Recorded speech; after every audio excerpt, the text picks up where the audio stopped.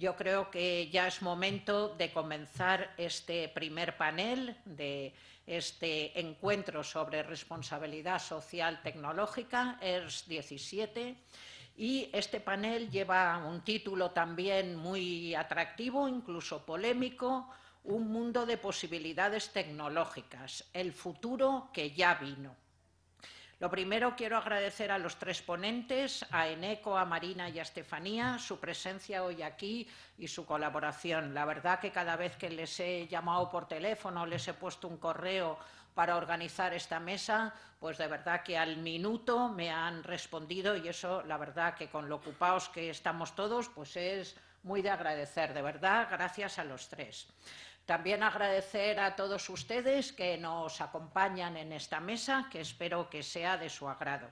Y agradecer a Funteso que haya confiado en mí pues, para coordinar este interesante panel. Aunque algunos de vosotros me conocéis, me voy a presentar. Mi nombre es Cristina Rodríguez Porrero. He trabajado muchos años en esta casa, en el Inserso, al que le tengo enorme cariño y durante muchos años he sido directora del Centro de Referencia Estatal de Autonomía Personal y Ayudas Técnicas, CEAPAT. Esta mañana hemos tenido la suerte de contar con el director actual, con Miguel Ángel Valero, al que le tengo enorme cariño y admiración y que también ha sido muy ilustrativa su charla. Bueno, ahora en este momento estoy jubilada por la edad, pero estoy muy contenta porque estoy colaborando en temas muy interesantes, fundamentalmente relacionados con personas mayores.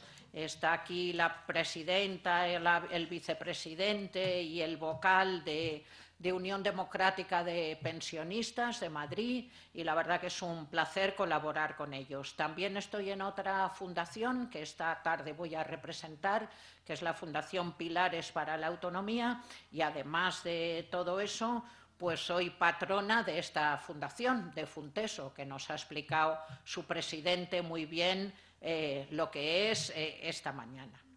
Bueno, pues Carlos, mi buen amigo Carlos, en su magnífica charla nos ha hablado de creatividad y de futuro. Y yo creo que, es un tema muy, muy interesante, porque verdaderamente eh, nos lleva a debatir y a ver cómo podemos hacer las cosas. Y lo que sí que queda claro, y el padre del concepto de innovación abierta, que se llamaba Henry Chesburg, decía que innovar es arriesgado, pero no innovar es letal. Y cuando hablo de innovar, no solo hablo de innovar en tecnologías, que también, sino de innovar en la sociedad a la que queremos ir. En el debate que hemos tenido con Carlos veíamos ¿y qué podemos hacer para que el futuro no sea tan duro o para que la sociedad sea la que nosotros queremos y porque la luchamos que sea. Y desde luego ahí tenemos que innovar, tenemos que no perder miedo a las cosas, tenemos que dialogar entre nosotros y tenemos que hacer muchas cosas. Y hay una frase que a mí siempre me ha motivado muchísimo de Helen Keller, que sabéis que es esta mujer sordociega que tantísimo eh, mérito tuvo y que tan alto llegó, que dice, el que está satisfecho con lo que se ha logrado es un obstáculo en el camino al progreso. Entonces, esta parte de, de, no estar contentos con lo que nos va a llegar o con lo que tenemos, yo creo que es muy importante si queremos que esta sociedad avance como, como de verdad queremos que lo haga. ¿no? Nuestros tres intervinientes en esta mesa pues saben bien de este afán de mejorar y de no conformarse. Porque, como se va a ver, la responsabilidad del futuro es de todos y cada uno de nosotros.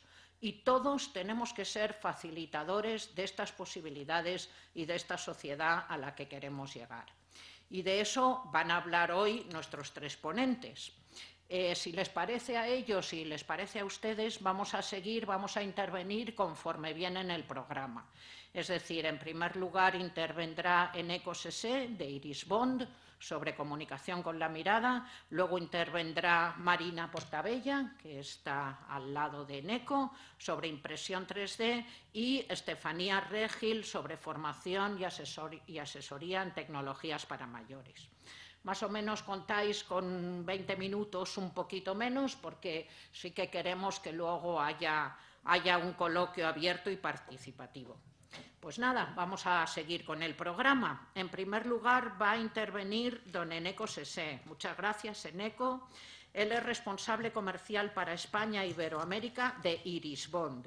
Es graduado en ADE, Administración y Dirección de Empresas, ha realizado estudios universitarios en el sureste asiático, nada menos que en Tailandia, y tiene experiencias de trabajos con Naciones Unidas. Y le oí ahora también que con la OIS, la Organización Iberoamericana de Seguridad Social.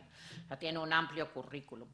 Como ustedes saben y como él nos va a contar, Iris Bond es un sistema de comunicación basado en el A-Tracking o videoculografía que permite controlar dispositivos digitales con el movimiento de los ojos. La relación de Iris Bond y el inserso ha sido muy positiva.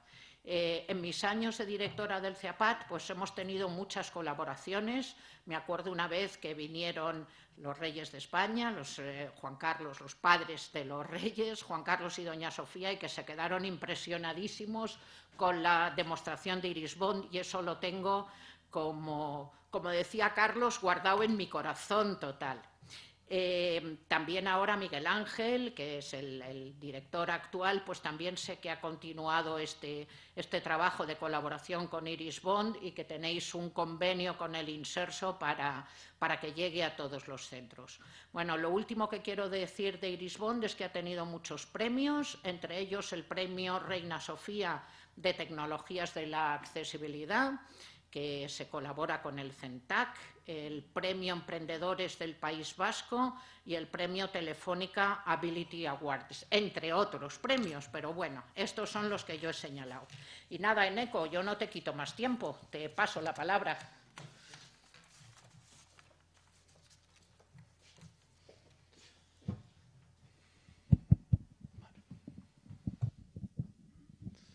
Hola, buenos días.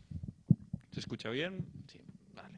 Bueno, muchas gracias en primer lugar, como no, por, esa excelente introducción. Creo que ya has mencionado algunas de las cosas que incluso tenía planteada comentar en, la presentación, pero también nos gustaría, como no, dar las gracias a, a Funteso, a toda la organización por invitarnos aquí, por permitirnos estar con vosotros y, como no, al, al IMSERSO, ¿no? por acogernos en su casa, además de todos los asistentes que estáis aquí y que espero que esta eh, presentación pues, os resulte de, de, interés. Yo no he preparado una presentación muy enfocada en lo que sería el producto, lo que es Irisbon. Me gusta más compartir experiencias de, de usuarios, de personas, de, digamos, vidas, ¿no? que es algo que voy a mencionar varias veces en la presentación, porque como bien dice el, título que trae Funteso, ¿no? estamos hablando de tecnologías para la vida, ¿eh? son tecnologías para la vida que tienen las personas. Entonces, la presentación está bastante centrada en, en las personas, Sí que dejaré al final una sección para que podáis hacer preguntas y me hagáis todo tipo de cuestiones que se os puedan ocurrir. Y puesto que estamos hablando de tecnologías, yo además más concretamente las tecnologías que funcionan por, por la mirada y cada vez la globalización va más allá, pues creo que la mejor manera de empezar y de que conozcáis eh, Iris Bond es mediante un pequeño vídeo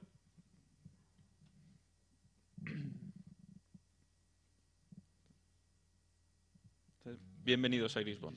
Es una tecnología que permite controlar el ordenador de una manera muy precisa y muy intuitiva con la mirada.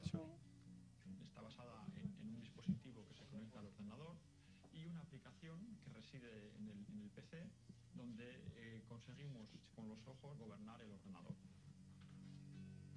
La idea surge hace 15 años, en el 2000, eh, fruto de la necesidad de una persona eh, buscaba un medio de comunicación alternativa con su mujer y no encontrando nada en España, ninguna tecnología, eh, decide contactar con un centro tecnológico de referencia en visión artificial que eh, inicia un desarrollo para poder controlar un ordenador con la mirada. Años más tarde decidimos desde Irisbon eh, crear una compañía para rentabilizar en el mercado global la tecnología y obviamente pues, aportar un medio de comunicación alternativa. Nuestro equipo está formado por un hardware Al cliente le decimos que tiene que hacer dos pasos. Uno es posicionarse. Líneas le mostramos dónde debe colocarse para tener una posición óptima. Ahora tenemos que hacer una calibración. La calibración consta de unas dianas que yo voy a seguir con la mirada. aunque sea Y de esta forma micro. nuestro software aprende a dónde se mira a cada momento. Eso lo que vamos a hacer es utilizarlo después para mover el ratón donde mire el usuario. El sistema de Lisbon Prima ahora mismo cuesta unos 1.800 euros e incluye pues todo el paquete, no únicamente de lo que es el sistema, como sería en el caso de, de otras empresas, sino el sistema, en lo que es la aplicación. No se ha oído nada. ¿Os, os parece que lo ponga desde el principio, no? Hablamos de tecnologías punteras y se nos olvida lo más básico, ¿no?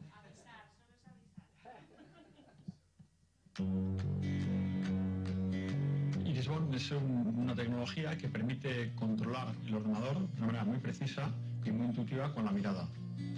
Está basada en, un dispositivo que se conecta al ordenador y una aplicación que reside en el, en el PC donde eh, conseguimos con los ojos gobernar el ordenador. La idea surge hace 15 años, en el 2000, eh, fruto de la necesidad de una persona eh, buscaba un medio de comunicación alternativa con su mujer y no encontrando nada en España, ninguna tecnología, eh, decide contactar con un centro tecnológico de referencia en visión artificial que inicia un desarrollo para poder controlar un ordenador con la mirada. Años más tarde decidimos desde Irisbon eh, crear una compañía para eh, rentabilizar en el mercado global eh, la tecnología y obviamente pues, aportar un medio de comunicación alternativa. Nuestro equipo está formado por un hardware. Al cliente le decimos que tiene que hacer dos pasos. Uno es posicionarse. Con dos sencillas líneas le mostramos dónde debe colocarse para tener una posición óptima. Bueno, ahora tenemos que hacer una calibración. La calibración consta de unas dianas que yo voy a seguir con la mirada. Y de esta forma nuestro software aprende a dónde se mira a cada momento. Eso lo que vamos a hacer es utilizarlo después para mover el ratón donde mire el usuario. El sistema de Lisbon Prima ahora mismo cuesta unos 1.800 euros e incluye pues todo el paquete, no únicamente de lo que es el sistema, como sería el caso de, otras empresas, sino el sistema, lo que es la aplicación, todo lo que es el soporte de la puesta en marcha y las futuras actualizaciones que, que tenemos. Los pacientes que utilizan el Lisbon son pacientes que tienen muy poquita movilidad. Bueno, a través de Lisbon eh, se comunican, eh, leen libros, escuchan su música. Para ellos ha abierto un, un mundo. Antes de llegar estos sistemas de seguimiento de la mirada, la opción que había era pasar los días viendo al techo o por la ventana. En el momento que llegó este dispositivo y con todas las herramientas informáticas, se ha convertido en mi ventana al mundo. Hemos dejado de estar preocupados por algo por lo que, que no podíamos hacer nada para, para compensarlo porque aún, comunicándonos de manera gestual como decíamos había muchas cosas que no podíamos hacer por y nos ha devuelto ese equilibrio emocional. La comunicación anterior a, Iris Ball era muy limitada. Se limita todo a preguntas cerradas en las que solo puedes esperar una respuesta de sí o no. Ese tipo de comunicación no expresa su personalidad. Ahora mismo con Iris Ball pues está surgiendo una niña nueva que solo la podíamos descubrir con Iris Ball. Hicieron unas pruebas y salía un problema eh, a nivel de un reflujo hacia los riñones y en cuanto se le puso el iribón, de las primeras cosas que pidió fue que necesitaba ir al baño. A partir de ahí nos dimos cuenta que efectivamente ella sí era capaz de pedir ir al baño, ¿no? Le repitieron en mayo las pruebas y han dado perfectas. O sea, no era un problema médico, sino una falta de comunicación. A expresar lo que quiere, lo que siente, el pedirte un beso, que, que posiblemente no lo hubiese pedido durante mucho tiempo y no la entendías que te estaba pidiendo un beso, ¿no? El mundo de la industria también es un área prioritaria para Lisbon y es donde realmente creemos que en los próximos años eh, vamos a sufrir un crecimiento importante. Por ejemplo, en un entorno de quirófano, un doctor que esté operando, que tenga las manos ocupadas, la persona podría utilizar el ordenador para introducir datos en, el sistema o cualquier otro tipo de actividad. En el mundo de la industria, el, el- el canal de acceso al mercado es un canal más de, de, de partner, de buscar acuerdos con diferentes empresas y diferentes colaboradores, de manera que ofrezcamos una solución común. Dentro del plan de crecimiento que tenemos eh, establecido, tenemos acuerdos de distribución en India, en Sudáfrica, en, Europa, en diferentes puntos, en, Sudamérica, y llegando a acuerdos con asociaciones que de alguna manera vean en la tecnología un beneficio para sus asociados y de alguna manera promueven la tecnología. El convenio lo que busca es que ambas partes nos beneficiemos tanto de la experiencia tecnológica de Irisbon como de la experiencia terapéutica de los pacientes, con lo cual eh, estamos en continuo contacto porque así ellos pueden perfeccionar eh, la aplicación. Hemos estado trabajando en lo que son las ayudas a, nivel nacional para que este producto esté introducido en la cartera de productos del Estado. Creemos que tiene que haber una apuesta por parte del Estado para que este sistema pueda llegar a más personas.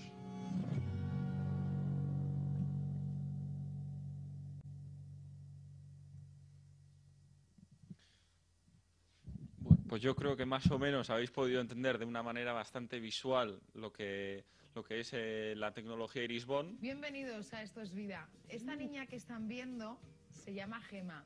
No puede hablar porque tiene parálisis cerebral.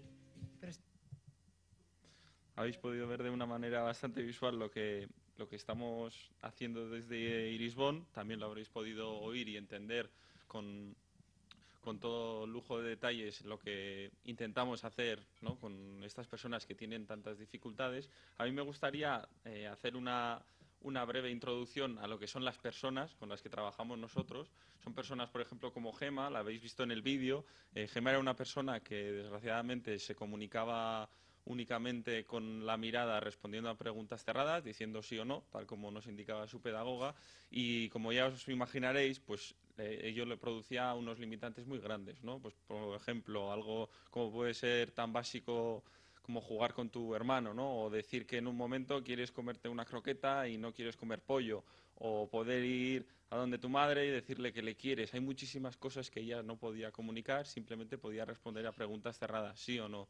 ¿Qué voy a comentar de cuando iba al cole, no? Que ella iría al cole eh, encantada como cualquier otra niña y no podía interactuar con lo que estaba pasando en clase, ¿no? Le estaban enseñando, estaba teniendo aprendizajes y no los podía poner en práctica, no, los estaba interiorizando. Entonces, de, esta manera, lo que su pedagoga descubrió es que esos ojitos que le permitían decir sí o no con la mirada de una manera muy sencilla iban a ser su trampolín para que pudiera acceder a una comunicación y a una vida mucho mejor, ¿no? Y por eso hacía énfasis en el inicio, hablamos de vidas, de vidas como por ejemplo la vida de Gema, ¿no? que ha cambiado totalmente antes y después de que tiene este tipo de tecnologías. Habéis visto en el vídeo, ¿no? Ahora mismo ella es capaz de comunicarse de una manera autónoma, puede ir a clase, puede seguir la clase, puede leer lo que está escribiendo, puede comunicarse mediante pictogramas, puede comunicarse mediante lectoescritura y está llevando a cabo una, una educación eh, que va acorde a la edad que tiene y al nivel, a las capacidades que ya tiene, porque tengamos en cuenta que esta,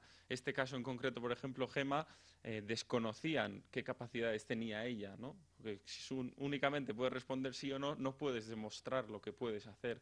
Con este tipo de herramientas y tecnologías, ¿qué es lo que ha conseguido? Pues, por ejemplo, ha hecho un test eh, de coeficiente intelectual y se ha demostrado que está en la media o incluso por encima de la media. Ahora es capaz de jugar con su hermano, es capaz de pedir las croquetas cuando le apetecen y sobre todo lo más importante es capaz y tiene la oportunidad de vivir un futuro, ¿no? que es lo que buscamos en Irisbon. Como ella hay muchísimas más personas y sobre todo en una primera instancia eh, niños que tienen diferentes afecciones, pues pueden ser niños con síndrome de red, pueden ser niñas con un parálisis cerebral, eh, todo tipo de personas que día a día están poco a poco trabajando gracias a la mirada, todas esas capacidades que les van a permitir crear un futuro mejor, ¿no? Y eso es en lo que nos estamos centrando. Al margen de este perfil, pues también tenemos otras muchas personas, como podemos ver, por ejemplo, a Fran en el vídeo, o podemos ver a, Francisco, que es una de las personas que utiliza Irisbon, que le dan otro uso un poquito más diferente, porque son personas que cognitivamente están bien, no tienen ninguna afección, pero motóricamente tienen algún tipo de, de afección, ¿eh? ya sea una inmovilidad, sea una ELA, una lesión medular. Entonces, este tipo de personas también aprovechan la tecnología, la utilizan para poder comunicarse ¿eh? con teclados predictivos, con pictogramas y también acceder al ordenador. Cuando digo acceder al ordenador, pues como os imaginaréis, hoy en día se puede hacer cualquier cosa con el ordenador, ¿no? Hay personas que están comunicándose, hay personas que están escribiendo, leyendo, acceden a Internet, tienen sus redes sociales, pueden estar en contacto con todas las personas de su entorno mediante el WhatsApp. Bueno, me podría pasar media mañana explicando todo lo que se puede hacer con, con este tipo de herramientas, pero lo que importa es que estas personas realmente pueden comunicar lo que sienten y pueden realizar las actividades que a ellos les gusten. Porque ellos, si les gusta leer y les gusta hacerlo de manera autónoma, hoy en día, con simplemente encenderles ordenador, el sistema o una tecnología como la nuestra les va a detectar la mirada y van a poder empezar a hacer cualquier tipo de actividad con, con, los ojos. ¿vale? Eso es lo que buscamos, empoderar a las personas para que se sientan útiles y puedan hacer realmente lo que les gusta y les interesa. ¿eh? Por ejemplo, más personas. Agustín. Agustín es uno de los, de los usuarios que lleva con nosotros más tiempo. Agustín utiliza el Iris Bomb para formarse, está llevando a cabo estudios universitarios y él con la tecnología pues puede escribir emails, puede hacer los ejercicios que le, que le envían de la universidad y puede seguir desarrollando todas esas capacidades que tiene, ¿no? que es un poquito lo que buscábamos. Sin embargo, eh, me gustaría que hicierais un, breve apunte, que vierais que en todas las situaciones nos encontrábamos ante una misma situación, todas las personas podían comunicarse, acceder al ordenador, podían trabajar con los ojos, pero había un denominante común que hasta ahora nos limitaba en cierto punto, que era el tema de la portabilidad. ¿eh? Como habéis visto, todo lo que es el sistema siempre va en un ordenador, y lo llevan de, un sitio a otro, pero no lo pueden llevar de manera constante con ellos. Entonces, ¿qué es lo que se ha planteado? Pues ahora mismo estamos realizando el lanzamiento del, nuevo sistema, de tal manera que una persona que necesite un, un medio de comunicación alternativa y aumentativa que funcione mediante la mirada, ya la puede llevar en todos los momentos, en cada momento, porque las necesidades de comunicación no se limitan únicamente a cuando estamos en casa o estamos en el cole, se limitan a todos los momentos en los que tengamos alguna intención de comunicar o de expresar lo que sentimos. ¿eh? Por ello ahora mismo ya es posible llevarlo a todos lados, con una tablet, como veis en, la imagen. Y por ejemplo Gema, de la que hemos hablado antes, que hace poco pues no se sabía qué capacidades tenía o qué podría llegar a hacer, pues hoy es el día en el que me enviaban a mí un vídeo hace un par de semanas en el que ella acudía a la tienda de chucherías, como cualquier otra niña, le gustan las chuches, y ella iba a la tienda de chuches y pedía unos gusanitos con ketchup. Y luego iba donde la dependiente y le decía, oye, ¿cuánto cuesta esto? ¿no? Entonces, este nivel de autonomía, esta capacidad para que ella pueda hacer realmente lo que, lo que quiere y pueda expresar lo que siente, para nosotros tiene un valor incalculable. ¿eh? Porque creemos que si una persona tiene una posibilidad de llegar a una comunicación con el, por el medio que sea, al menos nosotros intentaremos darle la, la opción de que, de que, lo haga mediante la mirada, porque es en lo que sabemos nosotros y en lo que les podemos aportar. ¿no? Esa es un poquito lo, la, la, visión que tenemos nosotros, que siempre intentemos ayudar a todas las personas que, que, puedan tener este tipo de necesidades. ¿Cómo lo hacemos? Pues obviamente la herramienta que tenemos... Eh, es muy positiva, te detecta la mirada, es muy puntera, tecnológica, puedes controlar el ordenador de manera precisa, pero es verdad que dependiendo del perfil de la persona, tenemos la necesidad de adaptarlo al, nivel cognitivo y al nivel de su vida en el que se encuentra. Por ejemplo, tenemos perfiles de niños que tienen que comenzar a entender que con la mirada pueden comunicarse. Claro, esto no es algo básico que tú en un momento ya te colocas y empiezas a comunicarte. No, tiene un proceso de aprendizaje y lo que nosotros pretendemos es que empecemos a estimular su mirada. Tenemos incluso la posibilidad de saber dónde están mirando las personas para que los profesionales puedan diagnosticar a nuevos usuarios y saber si tiene atención en toda la pantalla, si solo atiende a ciertos colores, de tal manera que este esta persona que está en una fase inicial va a poder ir accediendo pasito a pasito mediante unos juegos muy sencillos y un software que tiene varias etapas a una comunicación. ¿Para qué? Para que una vez que hayamos llegado a la comunicación, tanto por pictogramas como por lectoescritura, podamos seguir en la curva de aprendizaje, accediendo al ordenador y, ¿por qué no?, consiguiendo un empleo. ¿eh? Tenemos dos software, cada uno muy enfocado en, cada colectivo, y ese es un poco el, trabajo que, realizamos a cabo. Porque esta persona que vemos aquí, por ejemplo, es Mariano, uno de nuestros usuarios de Beasign, trabaja para GH, es una empresa de grúas. Él nació sin, sin brazos y tenía un, tiene un trabajo de planos de grúas, él crea planos de grúas, lo hacía con los muñones, pero ahora, tras conocer la tecnología, lo hace con los ojos, porque ha pasado de tener lusaciones en los hombros a poder hacerlo con la mirada. ¿Qué nos quiere transmitir esta historia? Pues que hoy en día con la mirada se puede hacer cualquier cosa, ¿vale? Para que veáis. Y por qué no aspiramos a que personas que hoy en día están empezando a, explorar lo que es la mirada con juegos, en un futuro puedan llegar a tener un empleo, ¿no? ¿Por qué Gema no va a poder tener un empleo? Pues eso es por lo que luchamos, para que puedan ir aprendiendo paso a paso y que puedan llegar a, ese punto. Comentaros, me hacía gracia porque revisaba la, la presentación que hicimos el año pasado aquí y justamente hablábamos de 300 usuarios, en tres años y medio que llevamos eran 300 usuarios en todo el mundo, este año ya es el doble, ojalá que el año que viene también siga siendo el doble, ¿no? que ya hay más de 600 personas en todo el mundo que se están comunicando con la mirada. ¿Y eso por qué es posible? Pues gracias a la colaboración con todos y otros muchísimos centros que son los que nos dicen qué es lo que necesitamos. Yo no soy pedagogo, yo no soy terapeuta, pero trabajo muy cercanamente con todos los terapeutas y pedagogos que me dicen qué es lo que necesitan esas personas que van a utilizar la tecnología. De tal manera que voy desarrollando los softwares para lo que van a utilizar. No tiene sentido que desarrolle algo y luego me dé cuenta que no lo van a utilizar estas personas. ¿no? Entonces, toda la colaboración con estas entidades, tanto nacionales, pues con las que estamos en España, como ASPACE, las asociaciones de ELA, el IMSERSO hemos comentado también, ¿no? que tiene eh, toda la tecnología en varios de los centros de referencia, pues gracias al acuerdo que tenemos con ellos, pero también en Latinoamérica ¿eh? y poco a poco en Europa, donde estamos conociendo la tecnología y aportando a que más personas lo puedan, puedan mejorar su calidad de vida mediante, mediante este tipo de tecnologías. Me gustaría hacer un pequeño hincapié con un estudio que hicimos a finales de año pasado, que, que nos lo solicitó la Sociedad Española de Neurología, gracias a un centro de neurorehabilitación de referencia que se llama CENAI, que está en Pamplona, que querían evaluar cómo eh, las herramientas y tecnologías de, eye tracking, como la nuestra, repercuten en, personas con parálisis cerebral. ¿eh? Más concretamente era de niños. Eh, simplemente pasaré por encima, comentaros que había varios, varios temas que se estaban analizando, como el tema de la postura, la capacidad cognitiva, la motivación. Entonces sí que había muchos resultados muy positivos que decían que las personas que, utilizaban la tecnología después de utilizarlo cierto tiempo, pues estaban más motivadas, que tenían menores dificultades para el aprendizaje. Pero para mí hay tres cuestiones que son las más relevantes. Una es el tema de la atención, que sobre todo para niños y personas que tienen problemas de atención, el hecho de trabajar con este tipo de herramientas les permitía poder mejorar esa atención para que no solamente en el trabajo con la herramienta lo pudieran, lo utilizar, sino en su día a día, ¿no? Que un niño, pues quizá antes de utilizar la tecnología no le mirara a su padre a los ojos cuando le estaba pidiendo agua y que ahora, pues gracias a, la atención que se ha desarrollado, gracias a las etapas que tenemos en, en nuestra curva de aprendizaje, ya lo haga, ¿no?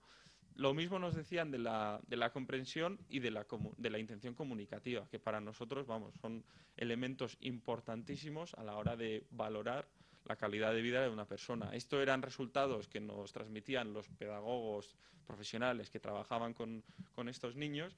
Y había un último apunte, que además creo que coincide mucho con, con la inauguración de este evento organizado por Funteso, Funteso lo que decían al, principio en el evento inaugural era que uno de los factores más importantes de cara a ver si las personas eh, tienen, han mejorado su calidad de vida gracias a tecnologías y, y herramientas, que es lo que estamos intentando implementar desde aquí, era la felicidad. Pues nosotros nos llevamos una gran sorpresa cuando llegamos a cabo el estudio, al concluir el estudio, lo que nos comentaban los profesionales que habían trabajado con los, usuarios eran dos temas principales. Uno era la mejora de la autonomía. Un 92% de las personas que participaron dijeron que sus usuarios eran más autónomos. Y otro era el tema de la felicidad. Para mí, el que haya personas que gracias al trabajo que estoy realizando yo sean más felices, Vamos, para eso ya tiene todo el valor necesario, porque ya me estás diciendo que hay personas que están cambiando su vida y que cambiarán su vida en el futuro gracias a lo que a lo que estás llevando a cabo tú, ¿no? Entonces, para mí ese es el dato que realmente em, concluyo y es de verdad el más importante de cara de cara a este tipo de estudios, ¿no? Porque nos dicen que realmente las personas que, que utilizan este tipo de, herramientas y soluciones basadas en el control de la mirada son más felices después de, de utilizarlas y eso es lo más importante, ¿no? Comentaros de manera muy breve que además de todas esas personas que tienen alguna afección que hemos mencionado, ¿no? personas con parálisis cerebral, alguna lesión medular, ELA, que tienen dificultades de comunicación, de acceso a ordenador, también estamos trabajando en otras líneas, ¿no? en líneas seguramente que tienen, no tienen un impacto social tan grande, pero tienen un, un crecimiento mayor. ¿eh? Son entornos en los cuales mm, personas pueden beneficiarse de la tecnología de control de la mirada para hacer más fácil la actividad que están llevando a cabo, como puede ser un doctor que esté operando, que tenga las manos ocupadas y con los ojos pueda interactuar con un ordenador. O en unas salas blancas, un químico que esté trabajando con productos esterilizados y que no tenga que quitarse y ponerse los guantes cinco veces para poder interactuar con el ordenador. ¿no? Al final son muchas las situaciones en las que nosotros podemos aportar un valor y eso es por lo que estamos luchando. ¿no? un par de comentarios del último congreso que estuvimos en, en Barcelona, en el Four Years for Now, donde realmente creían que estas soluciones tecnológicas de eye tracking pues iban a marcar una diferencia en el futuro y nosotros actualmente tenemos un dispositivo que te permite controlar un ordenador con la mirada, pero ya estamos trabajando en la futura versión que permitirá controlar cualquier móvil, cualquier tablet, simplemente con el movimiento de los ojos, sin necesidad de ningún hardware. De tal manera que con la cámara que tienes incorporada en la tablet, con el móvil, ya podrás controlar un ordenador con los ojos de manera sencilla y precisa. Para concluir, dos o tres reconocimientos que por aquí ya me los han comentado al principio. Eh, a mí me gusta ponerlos porque de alguna manera son un respaldo al trabajo que está realizando y un reconocimiento, ¿no?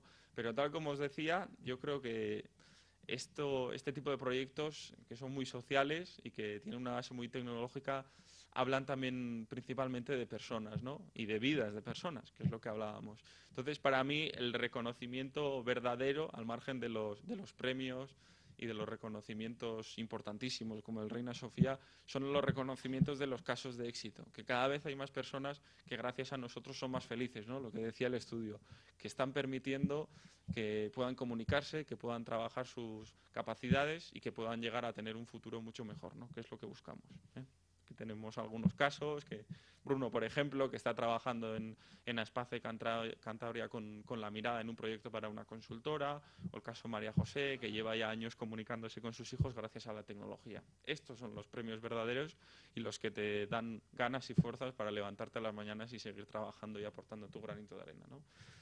Creo que nos han comentado 20 minutos, mmm, algún minuto más yo creo que está más o menos bien calculado. Sobre todo, lo más importante, y habéis visto, eh, la colaboración con centros, usuarios, personas interesadas en este tipo de iniciativas es básico. ¿eh? Como veis, Gema ahora está encantada en su cole, con su tablet, puede seguir comunicándose, expresando, ¿eh? creando un futuro nuevo y para eso pues es importante que este tipo de tecnologías lleguen a las personas ¿no? y eso es lo que buscamos y os acompañamos a que nos ayudéis a ello. Por mi parte no, no hay mucho más. Si tenéis cualquier duda, pregunta, aprovechar que estoy aquí.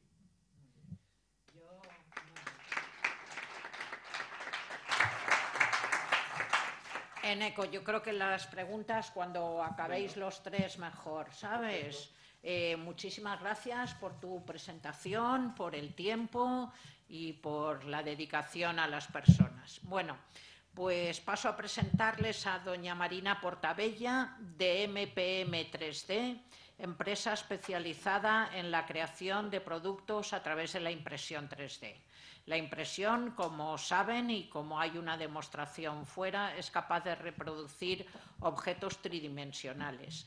Eh, yo la verdad que fue Enrique Varela el que me convenció de la importancia de la impresión 3D hace ya unos cuantos años, Enrique, y conseguimos que en el CIAPAT nos autorizara el Inserso, el Inserso Servicios Centrales, esta casa, la compra de una impresora 3D. A partir de ese momento, en el CIAPAT, adaptaciones que hacíamos muy complicadamente y manualmente en un taller de los, de los antiguos, ahora la hacemos con impresión 3D se adapta muchísimo mejor a las necesidades de cada persona y es muchísimo más eficaz. Eh, la verdad que, creo que ha sido una, una, cosa muy importante y que la impresión 3D tiene, unos tiene un futuro y tiene unas posibilidades que, bueno, pues que, aún no se conocen, pero que desde luego se demuestran muy, muy eficaces. La relación de, esta empresa y de Marina con, Funteso es muy estrecha. Tenemos un acuerdo de colaboración para ofrecer formación y yo creo que hay aquí un mundo real de posibilidades muy interesantes. Eh, Marina viene del mundo de la construcción y tiene gran especialización y experiencia en temas de formación y también le quiero agradecer muy especialmente que nos ha traído la impresora 3D y algunos ejemplos de productos para, para que lo podamos ver in situ. Pues nada, yo no te quito más tiempo. Marina, cuando quieras. Muchas gracias. Gracias, Cristina. Agradecer también el poder estar aquí, que me haya invitado, mi primer congreso, que espero que no sea el último. bueno, mi empresa es una empresita muy pequeña, ¿no? Entonces, eh, hace cosa de un año, año y medio, eh, bueno, yo vi una impresora, me enamoré, soy, me he hecho una fan de la impresora, de lo que se puede hacer y de la cantidad de posibilidades eh, que tiene, ¿no? Entonces, yo la, presentación que quería hacer hoy es eh, parte, he ido sacando parte del curso, ¿vale? De los cursos que estamos impartiendo, para, sobre todo para que sepáis lo sencillo que resulta todo el proceso de impresión.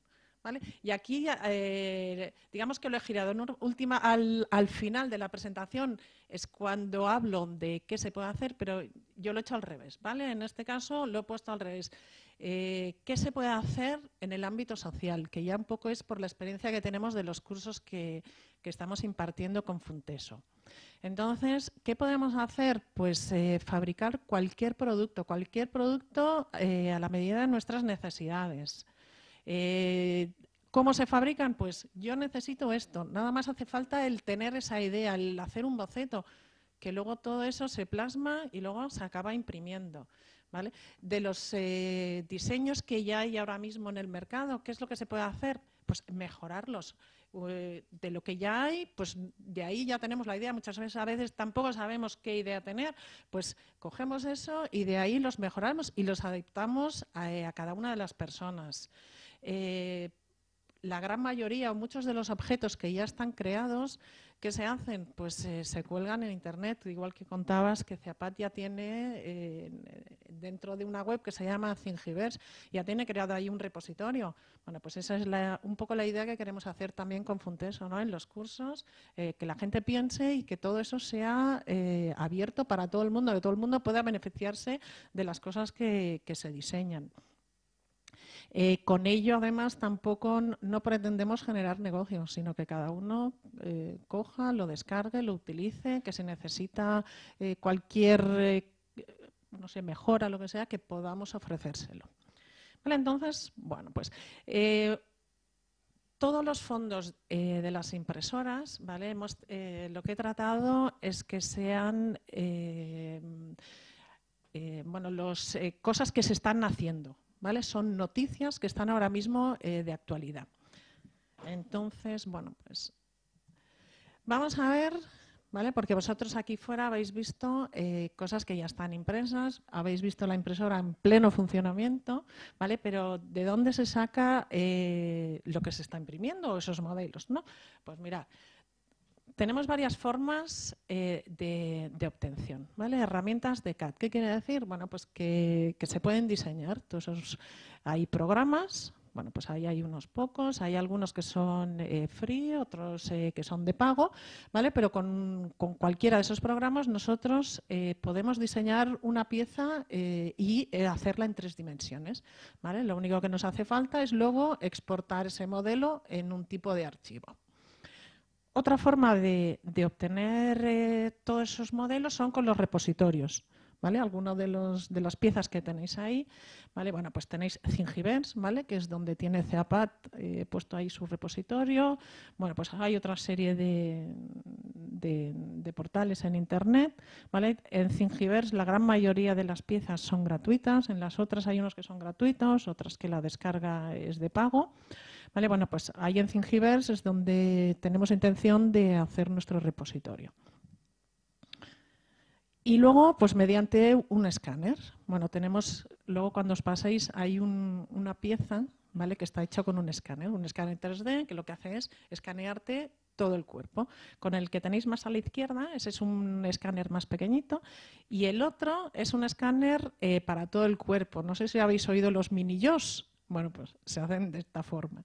Y luego hay otros que son, eh, bueno, que no están aquí, pero bueno, que son para poner la pieza y poderla escanear, ¿vale? Van girando para coger eh, todo. Entonces, bueno, una vez tengamos todas esas piezas, digamos que ya tendríamos ya preparado el modelo. ¿Vale? Entonces, vamos a ver que ya tenemos la pieza, sabemos cómo hacerla, sabemos de dónde sacarla, entonces, ¿qué es lo que hacemos eh, con esa pieza? Lo primero, ¿vale? La sacamos de un, repositorio, la dibujamos. Entonces, ¿qué es lo que hacemos? Vale, una vez tengamos esa pieza, esa pieza, eh, para que nosotros la podamos eh, imprimir, tiene que tener eh, una extensión. Bueno, pues igual que tenemos un archivo en Word y para que todo el mundo lo pueda leer, lo podemos exportar en PDF, pues esto es lo mismo, ¿vale? Tenemos que, que, tenerlo en un archivo, lo cuento para que os suene, se llama STL, ¿vale? Es una extensión. Entonces, esa pieza que nosotros eh, tenemos, tenemos que verla a ver si está bien, si esa pieza eh, no tiene problemas de impresión, ¿vale? Porque hay muchas piezas que podéis encontrar además en Thingiverse eh, que tienen problemas, ¿vale? Que luego cuando uno las quiere ponerse a imprimir, entonces, bueno, pues tenemos que verla. Tenemos, tenemos que ver también la mejor forma de imprimir esa pieza, ¿vale? Si tenemos pues yo qué sé, imaginaros una pieza así, pues esto quizás es más difícil eh, de imprimirla que si está así. ¿vale? Pues todo eso son las cosas que tenemos que tener en cuenta. Luego, por ejemplo, si tienes voladizos, ¿vale? Si las piezas están al aire, luego la impresora cuando pasa no puede imprimirlas. ¿vale? Bueno, pues todo eso tengo que tenerlo en cuenta. Y luego ya, pues lo único que hago es ponerlo en el software de la impresora. ¿vale? Todo el software que, utilizamos es software eh, open source, todo gratuito, ¿vale? para, que no, para que esté asequible a todo el mundo. Entonces, ¿qué es lo que hacemos? Pues llevamos al software de la impresora y la impresora lo que hace es capas. ¿vale? El software de la impresora lo que hace es capas, es un laminador. ¿Qué, ¿Qué, puedo obtener? Bueno, pues sé exactamente, bueno, no exactamente, casi, ¿no? el tiempo que va a tardar esa pieza, sé la cantidad de material que va a utilizar, ¿vale? y eso también me permite, bueno, pues eh, si tengo una bobina medio terminar, bueno, pues saber exactamente qué propiedades tiene bueno, pues toda esa pieza que voy a imprimir. Y luego ya lo único que tengo que hacer es guardarlo. ¿vale? Lo guardo en una tarjeta y la tarjeta ya es independiente, no necesito un ordenador para tener eh, una impresora. Esa tarjeta eh, yo la coloco en, la LCD y bueno, pues allí ya voy programando dependiendo un poco de qué tipo de material, pues la programo, le digo el material, calienta a una temperatura y luego ya el material lo que hace es fundirse bueno, pues, y hacer eh, todas esas capas. y una vez ya, bueno, pues tengo ya eh, esa pieza lista. ¿vale? es un proceso, la verdad es que muy sencillo, muy sencillo. Luego también, eh, bueno, pues nosotros aquí la impresora que, eh, hemos traído es una impresora de, que admite nada más que termoplásticos, ¿vale? Funde, lo que hace es fundir el plástico. Bueno, hay bueno, hay un montón de, impresoras que seguro que las habéis oído, pues de comida, de, materia, bueno, un montón de impresoras, ¿vale? Entonces, bueno, pues, por ejemplo, esta que hemos traído es de deposición de filamento, ¿vale? Y admite, bueno, pues toda una serie de, termoplásticos. Bueno, pues ahí he puesto unos nombres, pero bueno, cada uno de ellos eh, especial a lo mejor para imprimir eh, dependiendo del tipo de piezas. Y luego hay otras impresoras que, que son eh, a través de resina. ¿Vale? Digamos que es al revés. En este caso lo que hace es fundir el, plástico y estas de resina es al revés. Es una cubeta, eh, de líquido que lo que hace que con unos láser va conformando ese objeto que ya teníamos al final. La forma de obtener el objeto es la misma. Vale, pues los materiales que vamos a utilizar o algunos. El ABS. ¿vale? Esto es un, material que es muy resistente a las cargas, tiene alta resistencia a los impactos, eh, se utiliza mucho en la construcción de, los drones de carreras, ¿vale? porque bueno, se, estrella. Entonces, y luego, ¿qué es lo que pasa? Que pieza que se rompe, pieza que se imprime. Luego también eh, todas esas piezas hechas en ABS permiten luego tratarlas. ¿vale? Las piezas que salen de la impresora eh, se les nota las capas, pero bueno, luego a través de pues, eh, vapores de acetona, lijado, pintado, bueno, pues se le puede dar cualquier otro tratamiento. otro de los de los filamentos es el PLA. ¿vale? Es un, plástico que es menos resistente a las cargas, eh, adquiere mayor dureza y además es apto para el contacto con alimentos. ¿vale? Pues eh, aquí hemos traído también un ejemplo de cosas hechas para moldes de tarta. Eh, bueno, cualquier producto que esté en contacto con los alimentos. ¿vale? Estamos también con el PLA haciendo férulas ¿Por qué? Pues porque luego, una vez impresas, con agua caliente se pueden moldear. Bueno, pues el ejemplo es una que, me moldearon a mí en la mano. ¿vale? Luego permite ese, moldeado. Otro tipo de, plástico es el PVA. Bueno, pues eh, es, un plástico que luego se puede diluir eh, con el agua. Os comentaba antes eh, que habían piezas que estaban como en voladizo. Vale, pues esas piezas se pueden apuntalar. Y además está muy bien apuntalarlas con PVA porque luego esa pieza cuando se acaba de imprimir se pone en el agua y el material eh, se, disuelve. Luego hay otros que son eh, composites, que son, bueno, pues son mezclas de PLA, bueno, pues con cualquier otro producto. En este caso, por ejemplo, eh, madera, eh, yeso, ¿Vale? Y entonces lo que hace es que el aspecto que tiene ya no tiene nada que ver con el, con el plástico. Se utiliza mucho para objetos de, decoración. Y además el que tiene el 60% este de madera, eh, según lo estás imprimiendo, huele a madera. ¿Vale? Ya con el tiempo, no, los que tenemos aquí ya no, ya no huelen mucho. Y luego otro tipo de, filamento es el Filaflex. Es un filamento completamente flexible. Y además es bastante más eh, difícil de, imprimir. ¿Por qué? Pues por las temperaturas. Hasta coger la temperatura ideal, bueno, pues hay que hacer varias impresiones. Bueno, luego ponía aquí también los materiales estos de resina. Se utilizan eh, sobre todo para, temas de joyería, ortodoncia, cosas que, que se puede hacer las cosas que tenemos aquí con resina. Sí, también, ¿vale? Pero bueno, eh, son más adecuados para eso.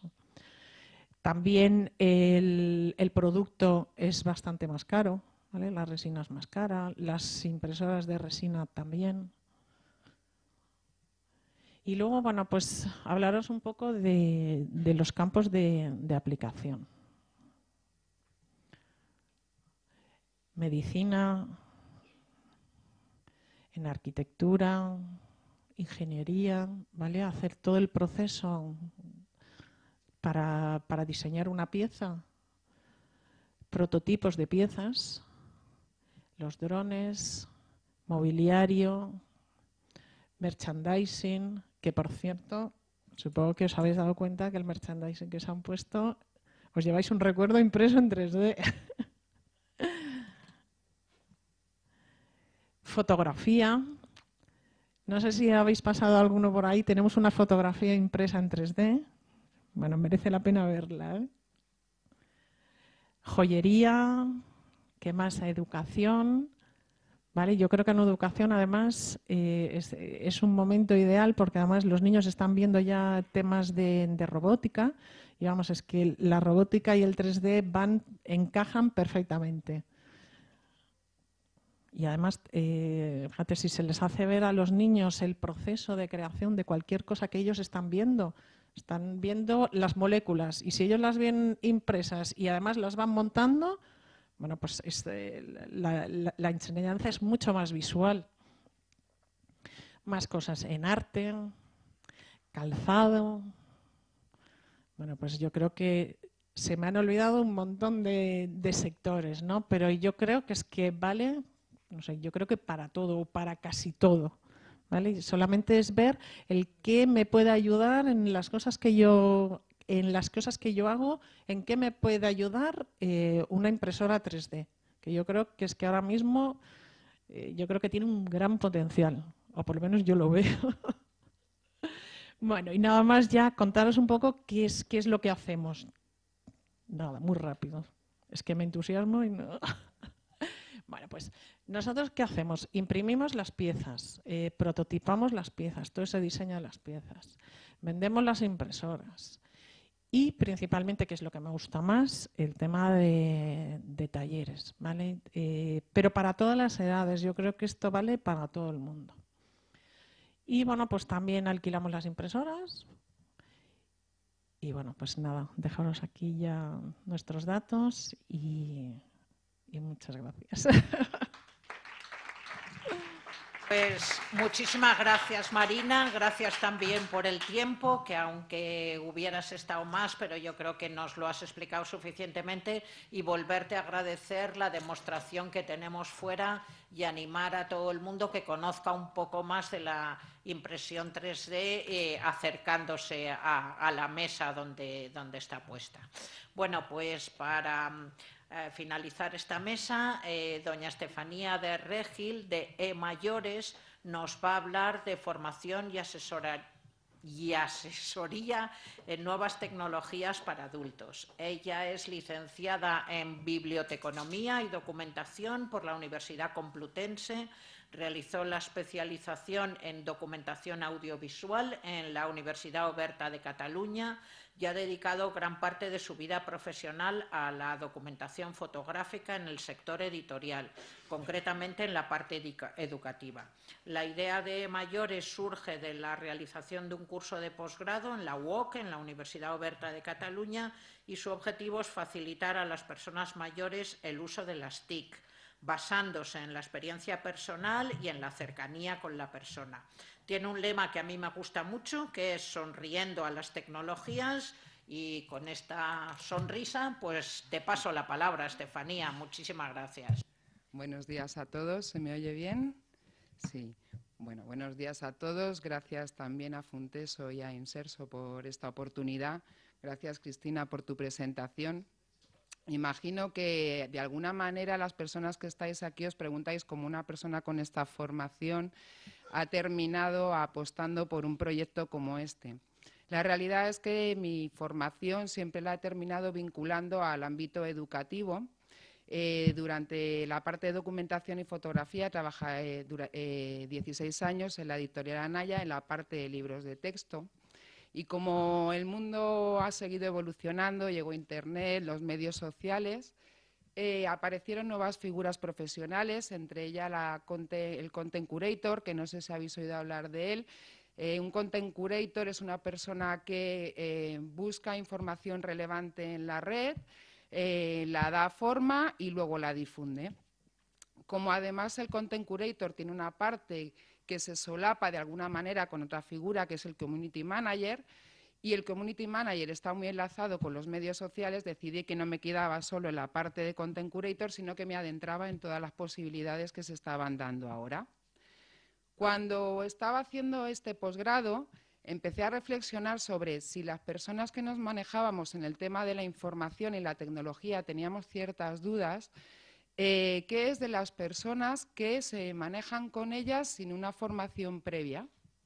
Y esto me llevó a hacer un curso de formación en el Instituto de Ciberseguridad, del que soy cibercooperante, pensando en los menores y en los padres de los menores, o no padres, pero sí de las personas que acceden a, los medios sociales y a la tecnología sin formación.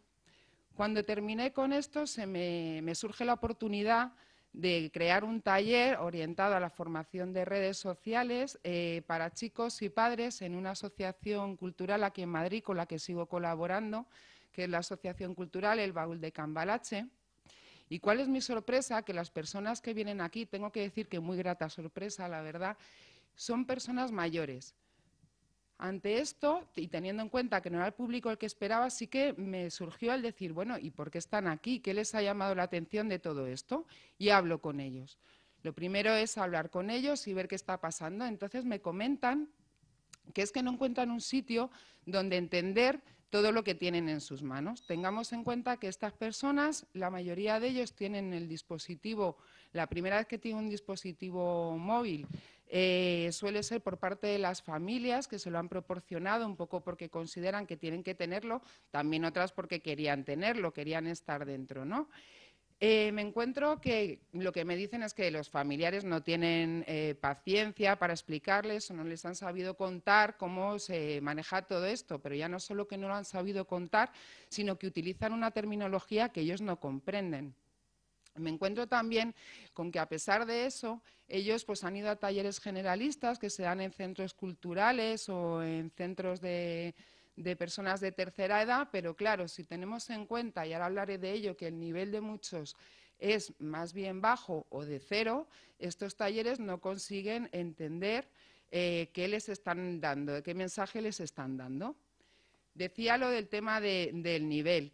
Las personas que tenía, muchas eran de nivel cero o un nivel eh, muy bajo. Me encontré con uno de ellos que me preguntó que si podía apagar su teléfono móvil. En un principio todos damos por sentado que un teléfono móvil se puede apagar. Nadie nos hemos cuestionado que eso no pueda ser. Pues sí, claro, le contesté que sí, pero quise saber por qué tenía esta duda, ¿no? Entonces esta persona me decía que es que tenía miedo que se le apagara el teléfono por si iba a perder todos los datos que sus hijos le habían metido ahí. Con lo cual, imaginaros la escena, esta persona iba con su cargador a todas partes porque en cuanto veía una rayita en el móvil entraba la ansiedad de pensar que su móvil se iba a apagar.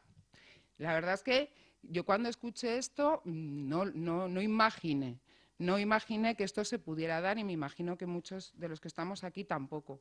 Me encontré también con que tenían diferentes intereses, con lo cual la única manera de poder acceder, si ya tienen cierto rechazo a la tecnología porque su, primera, su, primera, eh, su primer contacto con ella ha sido de una manera un poco brusca o que no les ha llegado, si además los intereses son variados, llegan a un sitio generalista que les hablan de diferentes cosas que en un principio a ellos no les llaman la atención, porque muchos solo quieren utilizar su mensajería, pero otros quieren otro tipo de cuestiones. Igual que me encontraba con esta persona que no sabía si podía pagar su teléfono móvil, si me encontré con una persona que el dispositivo lo manejaba, pero él lo que quiere saber es qué hay detrás, qué es Internet, por ejemplo, o qué es Android, o qué es Apple, y claro, esto no, esto no llega a ningún lado, ¿no? Aparte de los diferentes intereses que ellos también tienen, me encontré un tema de accesibilidad. Claro, ellos tienen un teléfono móvil que o bien les ha, les ha, proporcionado un familiar o que se han comprado ellos en una tienda, pero no, no está dado, no se lo han dado eh, pensando en ciertas dificultades eh, físicas que vamos a decir eh, son catalogadas, yo diría, difusas, es decir, no están centradas, no están marcadas, estandarizadas que pues, se pueden dar por la edad, pues un tema de audición, un tema de visibilidad o un problema en las manos, por ejemplo, pues artrosis, con lo cual el manejo del dispositivo o las posibilidades que el dispositivo da para que su manejo sea más sencillo, no lo tienen. Después de escucharles a todos, caí del guindo. Caí del guindo y de repente, claro, me pregunté y dije, pero bueno, vamos a ver, estas personas, ¿qué se pierden? ¿Qué se pierden y sobre todo qué se están perdiendo y qué se van a perder si no conseguimos involucrarlas, meterlas con nosotros, ¿no? Así que dije que toda mi formación y capacidades tenían que quedarse aquí con estas personas para poder eh, eh, que, estuvieran con nosotros, porque al final ellos lo que pasa es que dejan de estar con nosotros. Nosotros tenemos interiorizado y completamente asumido el mundo tecnológico, ya no solo en el manejo del dispositivo, sino en el propio vocabulario. Entonces, claro, nosotros hablamos de navegar, de whatsappear, de descargar, y ellos te miran, no entienden nada, o sea, ya no vamos solo a ese manejo, no solo este dispositivo en sí, sino todo lo que engloba pierden parte de comunicación, si lo pensamos, porque al final esto es un tema intergeneracional. Ellos han entrado un poquito más tarde y en circunstancias determinadas que deben, deben cubrirse de, de alguna forma. Así que digo, bueno, estas personas no se pueden quedar así, y empiezo a formarme y a investigar, pues a investigar cómo adaptar un dispositivo móvil para las personas, cómo se forma a personas mayores, cómo se aplica la tecnología a personas mayores y lo que era el primer taller que había realizado se enfoca a estas personas para que pudieran estar con nosotros. Yo no quiero que dejen de estar con nosotros ni que pierdan oportunidades. Pensemos que pierden las oportunidades con el tema de la medicina. Existen ya aplicaciones para gestionar sus medicamentos. se puede pedir una cita online o bien desde el ordenador o bien desde el dispositivo a través de, a través de una app. Se pierden información. La mayoría de, las veces ya buscamos información en Internet. Si a estas personas no les damos esa accesibilidad, esa posibilidad, se pierden información, sea del tipo que sea. Ah, pues tengo una persona que le encanta la prensa del corazón, pues claro, pues que se lea su prensa del corazón o que te resuelva tu vida cotidiana. Se me ha quemado la olla, pues bueno, voy a ver cómo limpio una olla que se ha quemado, ¿no? empiezo a trabajar con ellos y cuando empiezo a trabajar con ellos me doy cuenta que para poder primero romper esa barrera tiene que haber eh, una cercanía. Tiene que haber una cercanía. Tenemos que trabajar desde la propia persona. Tenemos que trabajar desde sus propios intereses e intentar cubrir a cada uno de ellos, a pesar de que yo había creado digamos, una directriz en el taller, te lleva a moverte a un lado y al otro, porque si quieres atender sus necesidades, si queremos que estén con nosotros, tenemos que hacer que todo esto sea mucho más sencillo. Y ya trabajando con ellos, pues pienso en que tienen que encontrar un sitio que les sea válido para su formación, que, que no podemos dar por sentado que hay determinados conocimientos que se tienen, que no podemos crear eh, ideas generales en determinadas situaciones, que no podemos pensar que los intereses vienen dados, uno piensa en una red social y piensa en un chaval, en un adolescente, piensa en LinkedIn y piensa en una persona que está en el mundo laboral, pero la realidad es que a ellos también les interesa. De hecho, tengo una persona, que luego os hablaré de ella, que se conecta a Facebook y claro, ¿por qué no? Pero tenemos que dejarles, tienen que venir y tienen que entrar desde su propia motivación. Trabajando con ellos empiezo a pensar en todo esto y lo que creo es eh, de lo que he venido aquí a hablar, que es E-Mayores. ¿no? E-Mayores es un proyecto muy mimado por mi parte, del que tengo que decir que para poderle dar forma y orientación, pues trabajé con SECOT, que es una persona, o sea, es una, asociación también de personas que están jubiladas.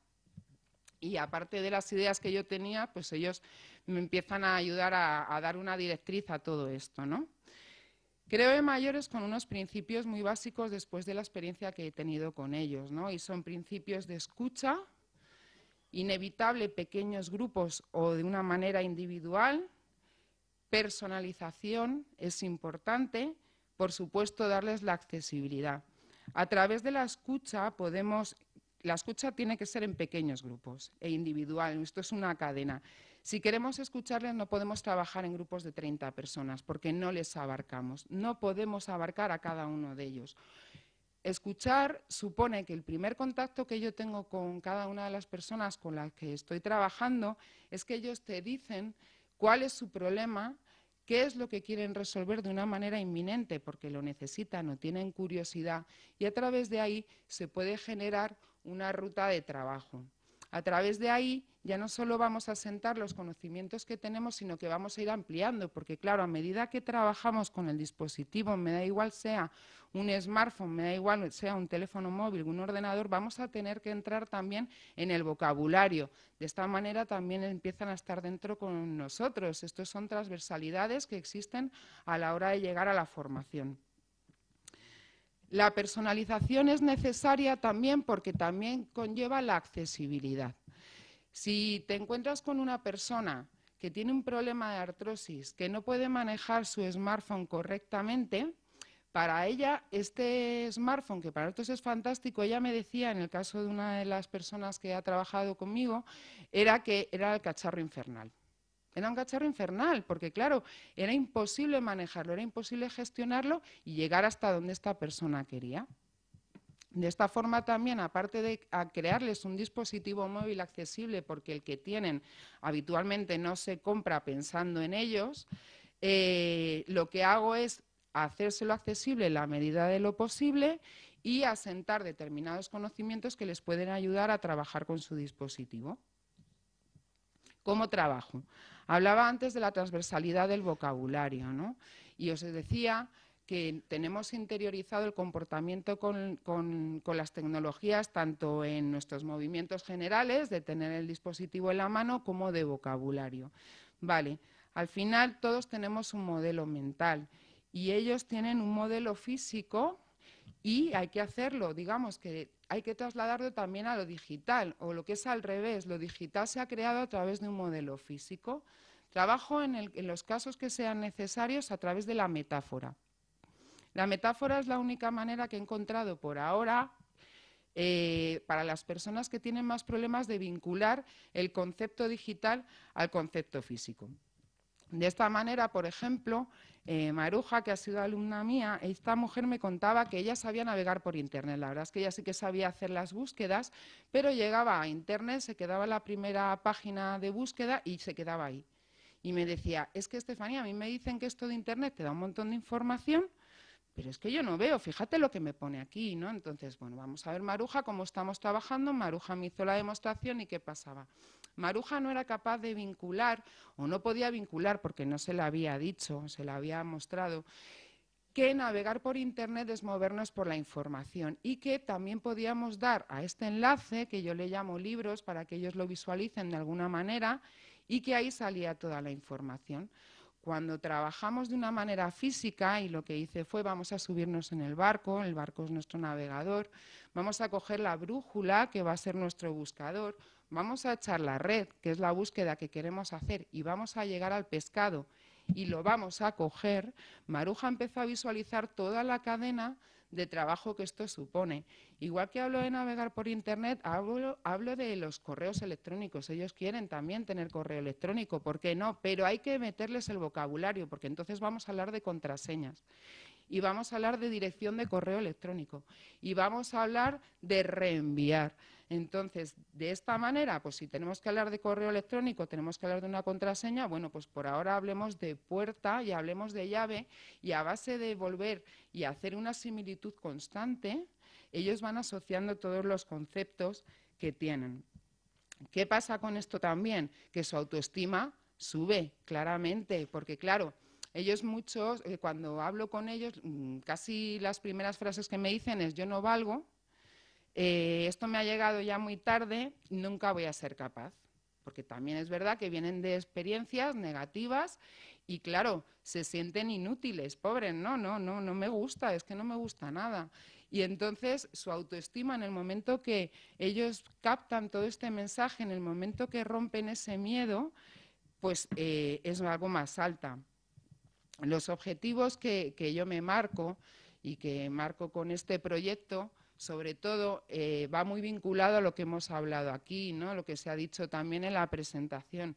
Ciudadanos digitales, que sean independientes, que no necesiten de su hijo para que le actualice la aplicación, que ellos eh, sean capaces de poder vincular que todo lo que tienen ahora está al alcance del dispositivo, no solo del smartphone, sino también de su ordenador. Y eso hay que trabajarlo desde cero. No podemos dar por sentado absolutamente nada. Tenemos que trabajar desde cero, escuchando, empatizando, desde la emoción y la motivación. Es que no, que, no, no, no veo otra manera. ¿Qué es lo que he logrado? Bueno, no lo he logrado yo, lo han logrado ellos. Hemos trabajado juntos, ellos también me han enseñado mucho. Os quiero poner cara a alguna de las personas que son protagonistas de, esta, de todo este recorrido. Os presento a Agustín. Agustín eh, está mirando su teléfono móvil, no es un smartphone, y Agustín lo que ha aprendido es a comunicarse con su teléfono móvil. Ha aprendido a llamar. Hoy, poder llamar con un dispositivo móvil prácticamente podemos decir que es básico. Agustín tenía problemas no sabía llamar con su teléfono móvil. Hoy, trabajando, ya ha aprendido a llamar y a colgar y a buscar en la agenda, porque claro, otra cosa que sucede es que hay dispositivos móviles que a la agenda le llaman contactos. ¿Y qué es eso de los contactos? Bueno, pues vamos a trabajar, vuelvo a la metáfora, vamos a trabajar desde la agenda, por ejemplo. Ha aprendido a poder llamar y a poder buscar en su agenda. Quiero presentaros aquí también a Lola. Lola eh, nos está sonriendo. Lola ha aprendido a comunicarse también, pero a comunicarse no solo con una mensajería. Lola ha aprendido a escribir sus correos electrónicos. Ojo, cuando yo digo ha aprendido a escribir su correo electrónico, para una cosa que a nosotros nos parece tan sencilla, para ellos supone articular que tienen que ir a su navegador, que tienen que abrirlo, que tienen que llegar a su correo electrónico, que tienen que meter su contraseña. Lola también ha aprendido a manejar Facebook, es esta persona que os decía. Ella quería manejar Facebook, fenomenal, pues hemos aprendido a manejar Facebook, está en contacto con sus nietos, con sus amigos. Otra persona que os quiero presentar es a Maruja. Maruja está sentada en su jardín. Maruja vive en un pueblo de Castilla-León. Se pusieron en contacto conmigo los familiares estas navidades para que la diseñara un taller. También os hablaba de ella cuando lo de la navegación.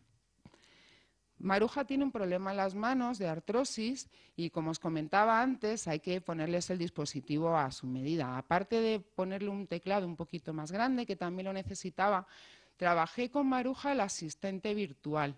Y ya no solo el asistente virtual, sino las posibilidades que nos da la mensajería y el navegador de micrófono. Maruja es una persona tremendamente interesada en el arte y cuando os comentaba lo de navegar, también ella terminaba resultando que eh, asociaba su, tablet a solo navegar por Internet y a la mensajería. Teniendo en cuenta su interés por el arte, lo que hice fue trabajar su, motivación descubriéndola en el mundo de las aplicaciones. No sé si conocéis Google Arts, alguno de los que está aquí. Vale, es una aplicación que tiene Google, es un convenio con prácticamente todos los museos del mundo que te los deja al alcance de tu, dispositivo móvil y de tu ordenador. Entonces, vuelvo a la transversalidad. Con Maruja pude trabajar lo que es eh, la tienda de aplicaciones, que es una aplicación, se buscó su aplicación, se la descargó, la puso en marcha y Maruja ahora mismo vive, como os decía, en un pueblo en Castilla-León, pero tiene al alcance de su mano todos los museos del mundo. Con lo cual su tablet ya no es un sitio, es un objeto que le resulta tedioso para comunicarse, sino que va, prácticamente tengo entendido que va con él a todas partes. ¿no? Quiero hablaros de otro caso, en este caso no tengo, no tengo fotografía, no, no, ha habido oportunidad, y es María Ángeles. María Ángeles es una persona también muy activa y ella utilizaba el correo electrónico, lo utilizaba, lo utilizaba, vamos a ponerlo ahí pero eh, ella tiene sus gestiones, está en una, en una asociación y bueno, pues ella tenía sus correos que van y vienen. Entonces, una de las cosas que ha aprendido es a manejar su correo correctamente con el asunto, el inicio, el desarrollo y su despedida, qué es reenviar, cómo hacer a una sola persona, cómo hacerlo absolutamente a todos. Pero aparte de esto, ella también tiene un apartamento. Y ella lo que quería era poner su apartamento en las páginas que conocemos todos. Bien, pues ella ahora lo que hace es eh, consiguió subir las fotos de su apartamento y gestionar su apartamento eh, de una manera online. Con lo cual, os vuelvo a marcar, si veis a través de los ejemplos, que no podemos generalizar, que es importante que se acerquen desde lo que a ellos les interesa, en esta foto estoy con José, estamos haciéndonos un selfie. José eh, también es alumno mío, él, tiene un dispositivo móvil, también más o menos maneja el ordenador. Tengo que decir que el dispositivo móvil se lo instalaron sus hijos y está bastante bien pensado, pero José es otro de estos casos que eh, te, resulta tremendamente curioso. Él, él un día me llega y me dice, oye Estefanía, que es que alguien me ha dicho que no le haga spam. Que qué es esto del spam. Y él me decía, es que yo creo que por el nombre no es nada bueno, pero ¿qué es el spam? Claro, vuelvo a lo que decíamos, hablamos con naturalidad y hay que explicarles. Bueno, ya José le expliqué que era el spam, entendió que era el spam, pero José también es esta persona que os hablaba al principio, que tiene distinto nivel y él tiene curiosidad por saber qué es lo que hay detrás de todo esto, ¿no? Una vez más, tenemos que hacerlo de una manera personalizada, una vez más hay que escuchar y una, vez más hay que atender a sus intereses para que puedan acercarse a la tecnología de una manera completamente amigable. Otro caso de estos es, eh, María Antonia. María Antonia está con, estábamos trabajando, está con los ordenadores. María Antonia quiere crearse un blog y está fenomenal. Hemos empezado a hacer un blog, pero claro, un blog eh, conlleva no solo llegar a la plataforma y darla de alta y escribir, sino que, por ejemplo, llegó el momento en el que me dijo que quería poner fotos. Y, claro, yo le dije, vale, pero es que las fotos tienen sus derechos. No podemos coger fotos de Internet. Eh, un poco a lo que os decía antes de, mi experiencia y mi formación, al final llevaba a todo esto. Yo he, trabajado muchos años en derechos y claro, le decía, no, y esto lleva a otra transversalidad y es aprender qué son los derechos y saber qué es la privacidad y saber qué es la seguridad y saber buscar fotos sin derechos para su blog en Internet, ¿no? Para terminar, que no me quiero yo pasar de tiempo, que la verdad es que me emociono mucho y se me ocurren mil casos que contar, eh, quiero cerrar con conclusiones. Mis conclusiones son que no podemos estandarizar, que es, yo creo que os lo llevo diciendo todo este tiempo. No podemos dar por sentado que se tienen ciertos conocimientos. Ahora la presentación se decía ¿no? que se les pide a las personas mayores habilidades que no tienen por qué tener. Para atender todo esto tiene que ser de una manera personalizada. Lo generalista no vale para todo el mundo. Tenemos que empezar desde cero. Eh, hay que trabajar los intereses de cada uno para poder trabajar desde la motivación y la emoción. Y una que también es muy importante y no quiero que se nos olvide, y es que el formador que está con ellos, aparte de aprender con ellos, no puede nunca dejar de formarse para estar con ellos. Nada más. Muchas gracias. Pues muchísimas gracias, Estefanía. También te emocionas, pero gracias por respetar el tiempo.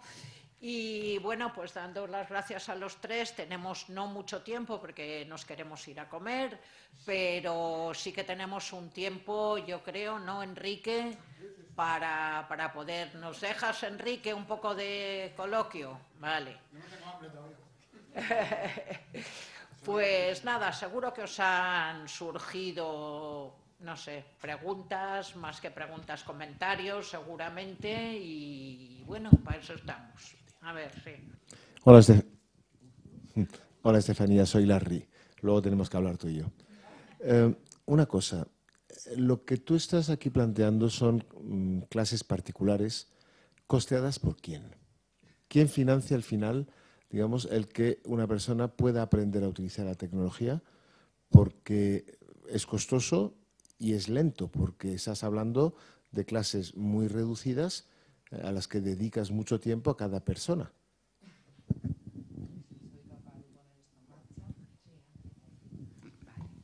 Hola Larry, luego, luego hablamos. Eso es lo bueno que tiene esto. Bueno, en este caso yo tengo que decir que ahora mismo soy yo. Y yo trabajo efectivamente individualmente o en grupos de no más tres, cuatro personas. Les dedico mucho tiempo efectivamente. ¿Quién lo costea? Pues ahora mismo ellos. Yo con las personas que trabajo, los familiares con los que, que se ponen en contacto conmigo, lo hacemos de una manera particular. Ahora mismo así. ¿Que apuesto porque las organizaciones lleven a cabo esto? Sí, porque yo no abarco a todo el mundo. Claramente, yo abarco a, las personas que me van conociendo y un poco ahora mismo el boca a boca y a través de esta, de esta pequeña asociación con la que trabajo. Pero yo quiero que esto llegue a muchas más personas, porque si no, son muchas las personas que nos dejamos fuera. Y como os decía cuando hablaba, yo no quiero que se queden fuera, yo quiero que estén con nosotros. Y creo que también hay determinadas personas que tienen ciertas mm, habilidades, que les es algo más sencillo el, el, manejo por sus motivaciones o simplemente porque a uno se nos da mejor unas cosas que otras, ¿no? Yo habitualmente sí que lo que hago cuando diseño los talleres, eh, como he tenido una escucha previa, les he visto, les he visto cómo se manejan o las cosas que me van contando, más o menos sí que se puede estipular eh, cuánto tiempo van a tardar. Vuelvo un poco también a, decir, no solo creo que tiene que existir un, un centro o un sitio donde puedan acudir para, para formarse de una manera, digamos, para empezar a ser ciudadanos digitales, sino que también, digamos, que tiene que haber una parte de soporte. No, no sé si me explico. De tal manera que cuando ellos, eh, a medida que van trabajando, la verdad es que es fascinante, es que me, me tiraría horas aquí. Cuando ellos empiezan a trabajar, claro, empiezan a ver que el mundo se abre y que existen un montón de posibilidades. Y a medida que ellos van viendo las posibilidades, quieren ir aprendiendo más. Entonces, sí que es verdad que tiene que haber un sitio, ahora mismo ese sitio soy yo, hay que acudir y al que eh, ir marcando las pautas a través de, pues vamos a ver si vamos a trabajar esto y quieres trabajar en esto, trabajamos en un pequeño taller. Ya te digo que lo hago ahora mismo a manera, eh, a título particular, voy allá donde se me llama y estoy en esta asociación. Pero me gustaría que esto se hiciera en más sitios, claro. Sí. Eh, felicitar a los tres y esto se va, así. Y centrarme particularmente en Estefanía. ¿no? En este sentido, eh, a mí me gustaría darte un argumento, si me lo permites, para que se motiven esas organizaciones que comentas y que ayuden.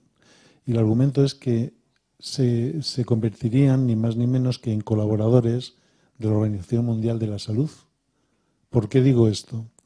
Porque tú estás aportando a los mayores, a los que les estás introduciendo en la sociedad digital, les estás aportando calidad de vida. Porque según la propia Organización Mundial de la Salud, la calidad de vida no se entiende si no se integra a la persona en el entorno en el que está. ¿Y en qué entorno estamos hoy en día en un país como el nuestro? En un entorno digital. Si tú te quedas fuera de ese entorno digital, tu calidad de vida se resiente. Y si en su contrario, si te integras en él, tu calidad de vida mejora. Eso que comentabas también antes de esa autoestima que, ellos experimentan. Entonces, eh, yo creo que entre todos tenemos que impulsar y comunicar la bondad de que gracias a la integración de las personas en la sociedad digital y particularmente los mayores, su calidad de vida mejora. Y ese argumento yo creo que es muy válido para que incentives a estas organizaciones a que te apoyen en esa labor que estás desarrollando. Gracias. Muchas gracias. Comparto completamente tu opinión. Esto es una cuestión, aparte de que estén con nosotros, que de verdad, si nos damos cuenta en el vocabulario que empleamos, o lo decía, es como si les hablaras en chino, es que crea un problema de autoestima y más del que imaginamos. Eh, dejan de tener acceso a determinadas aplicaciones o programas como el que nos acaban de presentar para mejorar su día a día. Entonces, si nosotros podemos hacer uso de esto, ellos, que también van a ser muy beneficiados, tienen que hacer uso de ello y para ello necesitamos dedicación, necesitamos invertir tiempo, dinero y recursos, claramente. En eso estamos. Muchas gracias. Muy bien.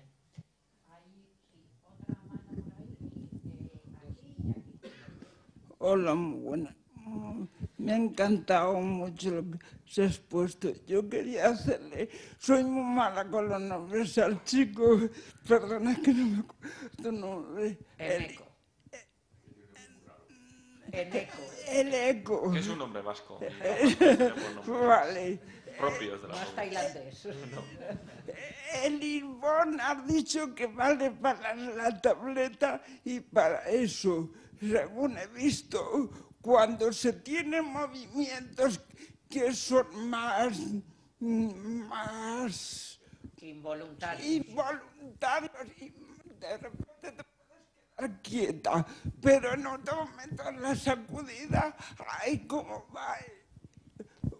Se, se, puede, los ojos porque te van a ir subiendo, no sigues esa línea como las personas que viven, excepto la chica de parálisis cerebral, los otros más o menos seguían la línea para que estuvieran los ojos en la línea recta.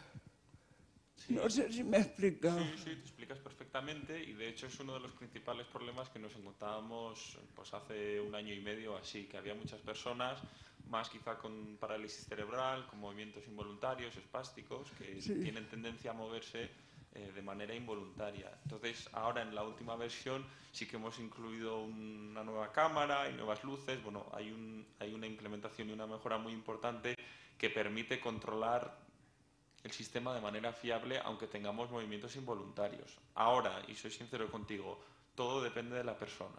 Entonces, dependiendo del perfil de cada uno y de la identidad de esos movimientos, sabremos si le puede servir o no le puede servir.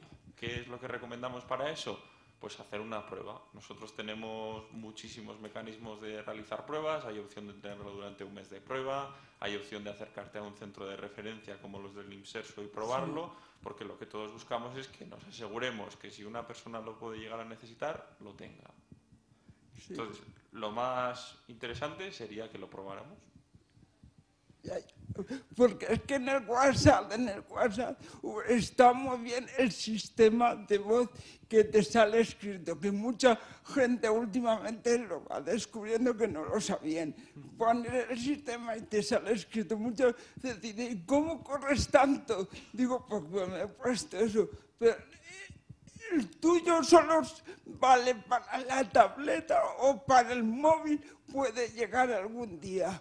Gracias. Para el móvil es el desarrollo que estamos trabajando, que llegará en un futuro cercano. Para la tablet, siempre que sea sistema operativo Windows, también lo podríamos utilizar. Y luego es cierto, un comentario interesante que has hecho del tema de lo del control por la voz, que hay personas que combinas, combinan varias tecnologías, de tal manera que tú podrías controlar un dispositivo con los ojos y cuando quieres hacer clic en un lugar, lo marcas con los ojos y luego lo hablas, de tal manera que el ordenador lo detectaría. De tal manera consigues de algún modo poder facilitar e ir más rápido en ese acceso al ordenador y comunicación, interacción con los demás, combinando diferentes sistemas. Muy bien, había otra palabra por ahí. Sí. A ver, buenos días, me llamo José María y como mi amiga Mercedes ha hecho la pregunta que yo iba a hacer, te quería... Claro, es lo que nos pasa a los paralíticos cerebrales que como ninguno hablamos igual, ni tenemos los mismos espasmos, pero sí solemos tener las mismas dudas. Eh, te quería hacer una pregunta complementaria o dos consejos. Eh, la discapacidad ha estado atrapada, por decirlo así, por el mundo médico y los mayores también. Esto lleva a pensar que las discapacidades son estáticas. Es decir, que yo, si tengo un certificado de espasticidad, voy a ser espástico todo el tiempo. En estas Santa Casa me hace falta que explique que eso no es, no es cierto. Pero lo que sí es verdad, que decías tú en ECO o cualquiera de vosotros, es que lo que se ha aprendido como técnico de accesibilidad es que las dificultades por cierto, lo llamo dificultades, no lo llaman ni enfermedades, ni padecimientos, ni afecciones, que todo eso viene del mundo médico. Las dificultades varían mucho según el tiempo con el que usas la tecnología, me da igual que seas mayor o persona con discapacidad, y el entorno.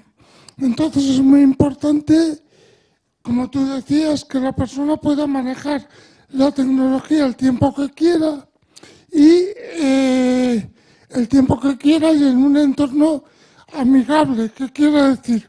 Cualquier experto en, en discapacidad no es un entorno, no somos un entorno amigable. A ver si me explico. Entonces sería necesario que esa tecnología, aparte de venderla, que está muy bien, que es el fin, se pudiera utilizar el, mayor tiempo posible y en un entorno amigable. Porque, como podéis ver, tanto ustedes como yo, o,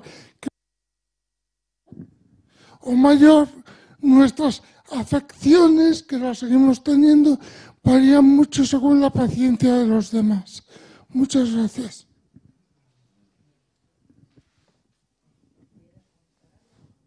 Bueno, simplemente añadir parece totalmente adecuado el, el, comentario, que nosotros también luchamos por eso y por ello damos todas las facilidades que podemos.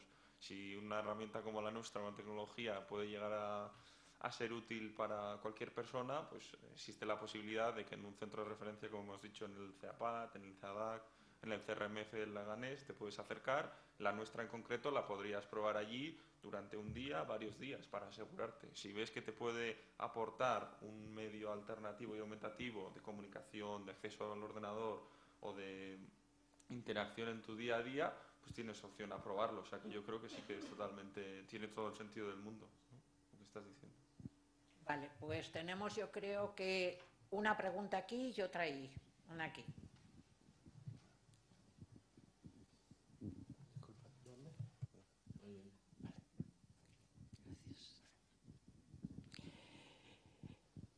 Eh, vamos a ver, Estefanía. Cuando hace un rato nos ha presentado Cristina y ha dicho con mucha euforia, ¿e mayores? Yo no le he dicho nada, pero he pensado, ¿por qué se entusiasma? Ahora lo entiendo. Haces una labor extraordinaria y te lo digo yo que soy presidenta de una asociación de mayores haces una labor magnífica. Pero además, con todo lo que has expuesto, yo tengo mucho, mucho interés en que tengamos una charla contigo y con nuestra modestísima asociación, en la cual tenemos muy buenos deseos y mucho entusiasmo, pero tampoco tenemos un céntimo. Pero, pero, yo creo que puede haber algún recurso por ahí. Por lo menos vamos a tratar de luchar con ello. Y aparte de todo eso, y lo digo públicamente, si, el presupuesto me lo permite, tienes una alumna en ciernes, que soy yo.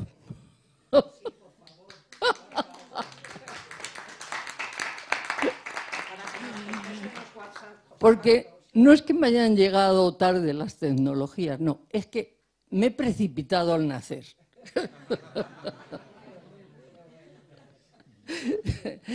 Gracias. Y yo, yo lo de que sea Angelina alumna tuya nos va a venir fenomenal porque así nos contesta los WhatsApp, cosa que le vamos a agradecer. Marcaremos entonces las prioridades de, trabajo para luego ir ampliando los conocimientos. Un placer. Hola, buenas. Eh, mi pregunta está dirigida a NECO porque me parece súper interesante el proyecto que tenéis. Eh, yo soy técnico en integración social y conozco los sistemas alternativos de comunicación. Lo que sí que me ha llamado mucho la atención es que trabajáis con una muestra muy pequeña, ¿no? Eh, todo por el coste. Y esta pregunta va para ti y también para ella, para la presidenta porque a mí lo que me interesa realmente es cómo podéis eh, introducir esto dentro del, público de salud, ¿no? que en nuestro caso depende de las comunidades autónomas, evidentemente, son 17, 17 problemas ahí a solucionar, ¿no?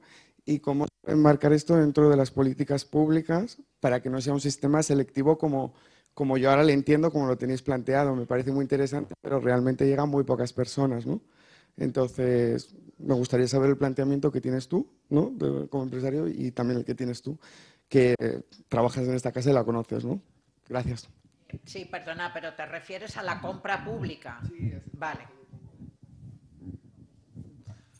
yo haría un apunte al comentario que has hecho. Yo no diría que tenemos 17 problemas, tenemos 17 oportunidades, porque hay muchísimas personas en las 17 comunidades que si realmente necesitan la tecnología lucharemos porque les llegue.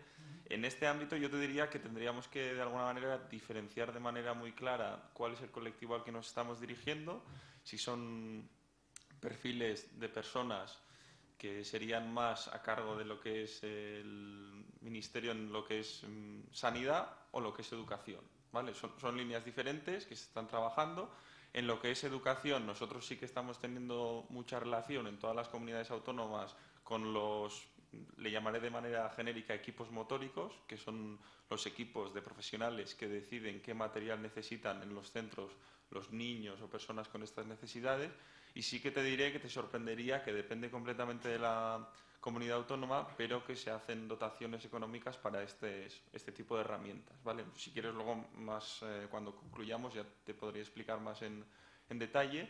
Y lo, el, el, otro ámbito que sería un poco el, el sanitario, eh, también te diría que con el IMSERSO, concretamente sobre esta tecnología, que es la que controlo yo, de sistemas de eye tracking, también se está tramitando eh, una ayuda para que esté incluido en la cartera de productos del Estado, eh, de tal manera que si una persona necesita comunicarse, que es un derecho fundamental, lo pueda hacer de manera gratuita o al menos a un coste reducido, ¿no? De tal manera de la misma manera que una persona cuando necesita caminar pues tiene ciertas ayudas para una silla, pues si necesitas comunicarte y mediante la mirada es el, el método que vas a utilizarlo, pues también se está planteando para que entre en la cartera de, de, productos. Nosotros, ya te digo, ahora mismo lo puedes probar en diferentes centros del IMSERSO, los cuales tienen eh, la tecnología y dependiendo de la comunidad autónoma, es verdad que nosotros en el País Vasco también tenemos algunas ayudas en concreto, pero bueno, en otras comunidades también se han concedido. ¿eh? Lo que pasa es que muchas veces hay que encontrar cuál es la ayuda en concreto que te sirve y que necesitas tú que aplica a lo que estás solicitando. ¿no? Entonces, si quieres, al concluir, para que todo el mundo no tenga que escuchar más en detalle lo que es eh, cada ámbito, pues lo podemos comentar, pero desde luego qué trabajo se está haciendo que el IMSESO también se está implicando y que, bueno, que yo creo que al final lo que buscamos todos es que las tecnologías se socialicen y lleguen a las personas cuando realmente lo necesitan. ¿no?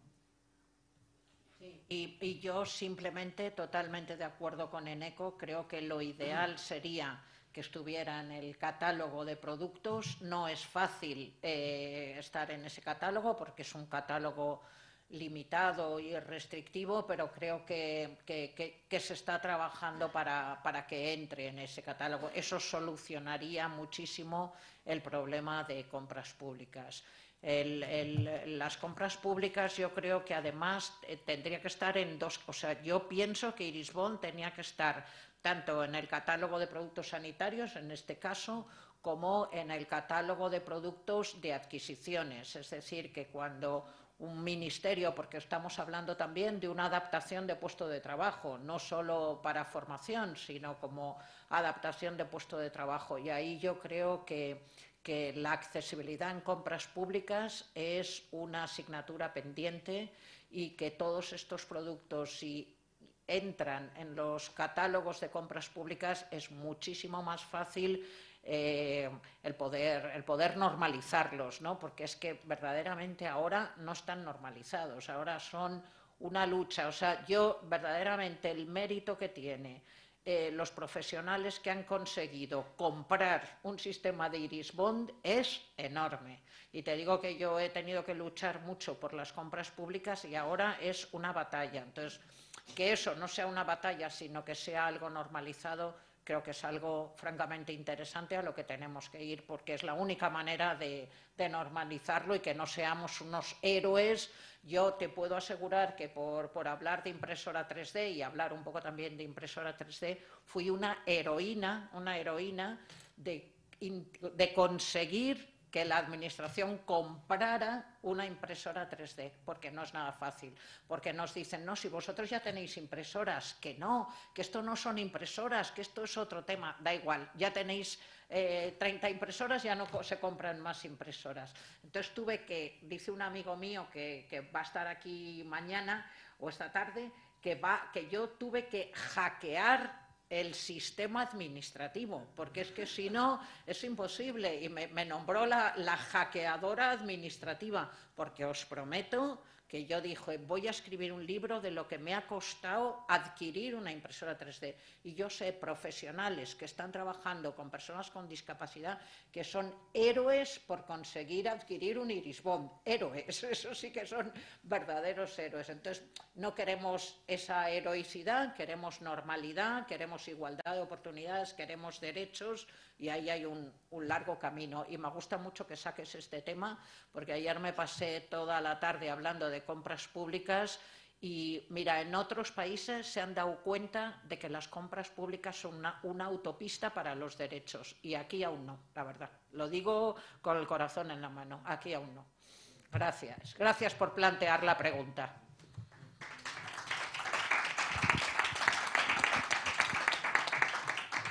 Hola. Nosotros tenemos como equipo dos, dos consultas. Quizás tendríamos que hacer una, una, forma un poco más personalizada. Nosotros somos asesores de, accesibilidad auditiva y el tema de las impresiones 3D en, en, en cuanto a adaptación de, y diseño de pinzas para, para gente joven, deportistas, niños, para los implantes cocleares que se pudieran adaptar a la ropa para que no se caigan, no se rompan. Eso nos interesaría mucho si nos podrían orientar. No sé si este es el momento o quizás cuando Ok, posteriormente. Y luego, en cuanto a, lo, a, los ciudadanos digitales mayores de 65, Estefanía, me gustaría preguntarte si has tenido casos de mm, estudiantes avanzados que ya han podido lidiar o agarrarse a golpes, porque yo me agarro a golpes todos los años con Hacienda, eh, me refiero con el trato digital de la administración pública. Hay, hay, administraciones públicas que tienen una accesibilidad, no hablo de accesibilidad en cuanto a discapacidad, sino que es más fácil acceder a, a al, al, trámite, pero hay otros que a mí me parecen realmente imposibles. En cuanto a los jubilados, yo comprendo que la Hacienda, pues bueno, si es menor de 22 mil eh, eh, euros anuales, eso es de un solo pagador. Sé que es otro, otro paréntesis, ¿no? Pero me gustaría saber qué, qué, qué experiencia tienes. Vale. Bueno, comentarte primero que si, si te fijas, en ningún momento he creado una, una franja de edad ha hablado de personas mayores. Personas mayores pueden ser de 65, pueden ser de 60, pueden ser de 40, de 50. He trabajado también con una persona de 40 y tantos años que, que necesitaba un poco de ayuda en todo esto. A partir de aquí, eh, bueno, pues sí, han tenido que lidiar, si se nos ha dado el caso. Y tengo que decir, y me remonto un poco a la intervención anterior, que tienen que tener un sitio también de, para poder apoyarse en determinadas situaciones. No, moverse la administración pública la verdad es que no es fácil ni para ellos ni para mí. Yo también tengo verdaderos problemas. Entonces, en, casos así tan concretos, solemos trabajar eh, un, una hora o, un taller, no un taller, no, en estos son casos, son casos muy específicos. Entonces trabajamos en ese momento para ese caso. Es la única manera que por ahora he conseguido de, resolverlo, sobre todo porque busco que lo resuelvan y que puedan hacerlo. No, por ahora no he trabajado, no he hecho ningún taller de la administración pública porque la verdad es que ni me atrevo. no, no, me atrevo, es bastante complicado, así que prefiero trabajar sobre eh, el interés y, la necesidad de, de ese momento. Nada. Muy, muy buen planteamiento también el de la accesibilidad y la amigabilidad de la administración pública. Esto da para otra charla también. Pero bueno, sí decirte que hay legislación para cumplir criterios de accesibilidad que no siempre se cumplen y que están perfectamente legislados. Pero bueno.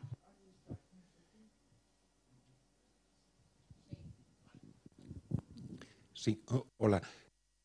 Más que más que una pregunta, es un comentario para Estefanía, que a lo mejor lo tenéis más que pensado y estudiado, pero por si acaso, es, eh, mm, utilizar la viralidad piramidal para índices que de mal de fondos y mal de tiempo.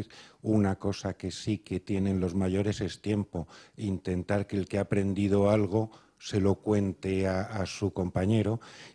Y eso hacerlo casi casi dentro del contrato, que, que, les exijas que, que, que, lo hagan y de alguna forma intentar promocionar competición entre ellos, a ver quién consigue más y mm, dándoles de premio algo que, no cuesta dinero, alguna administración pública que les haga en algún acto, pues que el, el alcalde les mencione o les dé algún, eh, alguna oportunidad de, subir al estrado, algo que le salga un poco de ilusión y tal vez sin dinero se puede avanzar en eso un poco. Era solo como... La verdad es que me parece una idea estupenda. Eh, bueno, de tiempo sí que tengo que decir que tengo problemas para cuadrar la agenda con ellos. Suelen ser personas bastante, bastante activas. Sí comentarte que cuando, como decía, aparte a nivel individual, en, esta asociación en la que estoy, trabajamos en pequeños grupos y sí que intento que interactúen entre ellos. Una vez que, que, hemos asentado los conocimientos previos que ellos van necesitando, sí que me gusta que entre ellos eh, interactúen y se enseñen unos a otros o aprendan juntos, más que que se enseñen, que aprendan juntos. Esa parte sí la tengo. Me comentabas un poco las orientaciones de gamificación, ¿no? Eh, me parece muy acertada y, y tomo nota, la verdad, porque como os decía antes, no podemos cerrar los proyectos, hay que irse moviendo un poco, hay que ir trabajando según va apareciendo, no podemos anclarnos y efectivamente es una manera más de empoderamiento y es una manera más de autoestima. Así que me lo apunto. Muchas gracias. Bueno, pues yo creo que sí, hay una pregunta más. Mm, buenos días. Em, básicamente con el proyecto de mayores eh, me, resulta súper interesante porque creo que en esta sociedad en donde eh, hay tanto aporte de la juventud, nos falta esa voz, esa voz de la experiencia que tiene tantísimo que dar para, para, el resto, la tradición, o sea, seguir conservando tantísimos valores importantes que desde las edades pues ya mayores necesitamos, porque al final...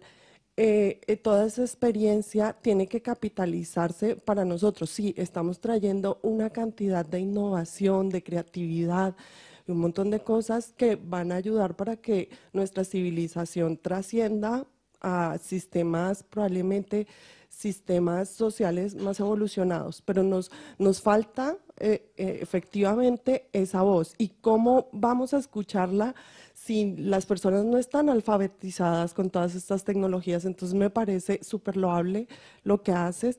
Y bueno, en, en algún momento de mi historia académica también estuve trabajando con e-learning y con redes sociales em, con las personas mayores. Era un ejercicio en el que se hacían avatares, eh, es decir, se hacían parejas entre abuelos y, sus nietos, ¿vale? Y entonces ellos no tenían ni idea qué era un avatar, cómo se construía, de qué me estás hablando. Entonces eh, poníamos a los abuelos a trabajar con los niños y la verdad fue un ejercicio súper enriquecedor para ambas partes, tanto para los niños, porque se enriquecían de todo este discurso y de la tradición, como para los mayores, porque aprendían cómo usar las tecnologías del Facebook y demás. Y luego ambos usuarios, o sea, tanto el niño como el adulto mayor, pues potenciaron muchísimo, muchísimo sus habilidades comunicativas y alcanzaron unos progresos muy interesantes en sus relatos en las redes sociales. Entonces, si en algún momento podemos hacer match y podríamos complementarnos, yo encantada. Y bueno, en un momento también tenemos que hablar. Gracias.